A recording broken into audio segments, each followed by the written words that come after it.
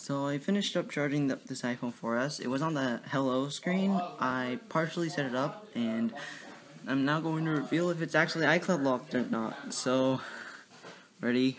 Three, two, one. Oh God. Oh. What? Phone could not be activated. Hello? Well, um, that didn't turn out.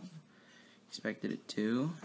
No SIM card inst- Oh my god, it's not. Oh my god. This is fully working. Oh my god. This is this is so This is phone is actually working.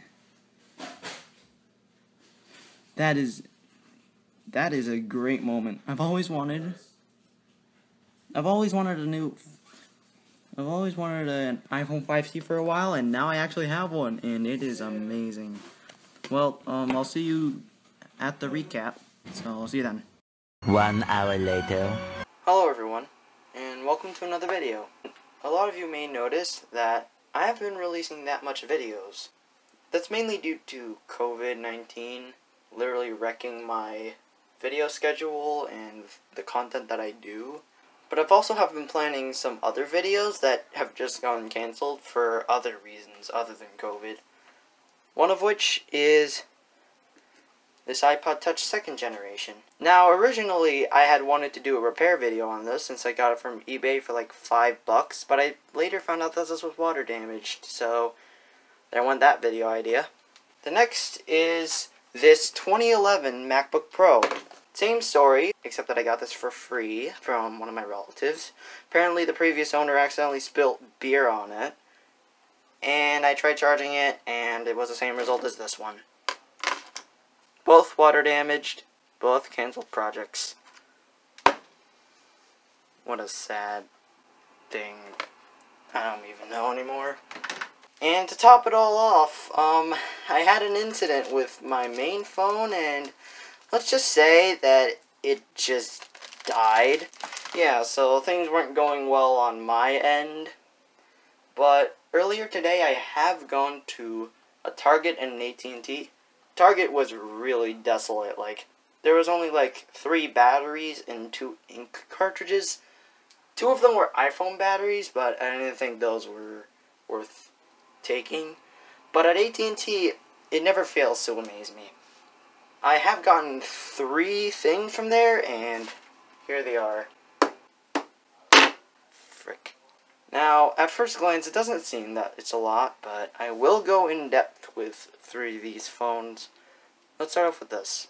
So, this is another Moto E2 AT&T. Apparently, it is water damaged, but it did come with a plastic band on it. So, what I did is I actually transferred the band from this Moto E2 over to this Moto E2, which I found on the Target bin about February, and now it's a perfectly normal Moto E2, which is pretty nice in my opinion. Except for this one, at least. This one, I don't think it has any hope left. Now, second is this iPhone 4S. When I got it, it did have a passcode, but I restored it to iOS 9.3.5. Sadly, it was on iOS 8 or something, but it did have a passcode, and I tried guessing the passcode until I couldn't no more, and I was unsuccessful at that. So here we are on a 16 gig iPhone 4S on 9.3.6. I mean, I'm not complaining. And then probably the best one is this iPhone 5C. When I got this, it was originally on the hello screen. And yeah, and yeah, I did I did actually go live on it to see if it did have an iCloud on it, which I showed you in the previous clip there. So, yeah, um, I hope you guys enjoyed the video. Thanks for watching, and I'll see you next time. Bye.